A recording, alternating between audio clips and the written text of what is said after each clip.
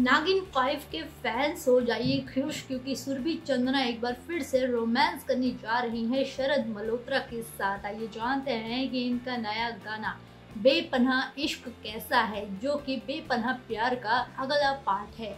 आइए जानते हैं कि क्या है गाने का पूरा रिव्यू।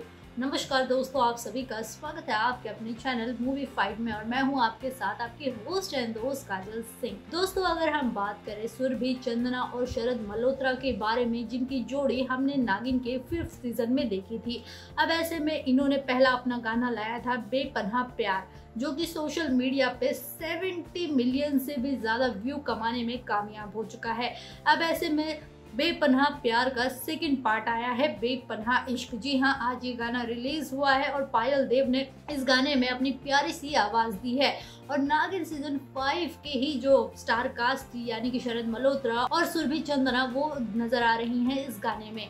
गाने की अगर हम बात करें तो ये पार्ट जो है कंटिन्यू है। यानी कि जो सेकंड पार्ट आया है, वो बेपनाह प्यार का कंटिन्यू पार्ट है। और मैं आपको ये भी बता दूँ कि इसका तीसरा पार्ट भी आने वाला है।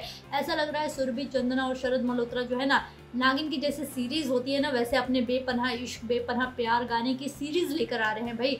अब तीसरे पार्ट में ये खुलासा होगा कि शरद मल्होत्रा के साथ हुआ क्या है? वो ज़िंदा है या फिर उनकी डेथ हो गई है?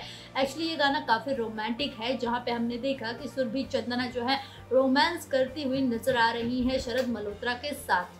गाने की शुरुआत इन दोनों के प्यार से होती है, जहाँ पे कुछ ऑफिसर्स इनको ढूँढने की कोशिश करते हैं और ये दोनों जो है एक घर अपना एक छोटा सा आशियाना बनाते हैं, जहाँ पे पुलिस जो है उनके आशियाने तक पहुँच जाती है। लेकिन लास्ट में जो है इस गाने में सस्पेंस रखा है कि ये दोनों जो है एक होंगे या फिर नहीं। अब ये तीसरा पार्ट आएगा जब गाने का, तभी पता चलेगा। वैसे अगर हम बात करें इस गाने की तो गाना बहुत ही प्यारा है। पायल देव की जो आवाज़ है, काफ़ी अमेजिंग है। इसके साथ साथ जिस तरीके से सुरभि चंदना और साथ ही साथ शरद मल्होत्रा ने एक्टिंग की है वाकई लाजवाब है। इस गाने को मैं five out of four star देना चाहूँगी।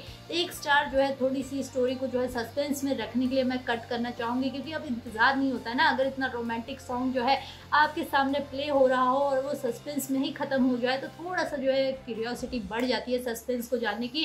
कमेंट सेक्शन में आप हमें कमेंट करके बताइए, आप इस गाने को कितने स्टार देना चाहेंगे? Five out of comment section में कमेंट करके ज़रूर बताइएगा और अगर अभी तक आपने हमारे चैनल को सब्सक्राइब नहीं किया है तो जल्दी से कर दीजिए ताकि जितनी भी लेटेस्ट अपडेट है, हम आप तक सबसे पहले पहुंचाते रहेंगे। और अगर आप ये वीडियो फेसबुक पे देख रहे हैं तो हमारे पेज को लाइक एंड फॉलो करें। Thank you so much for watching my video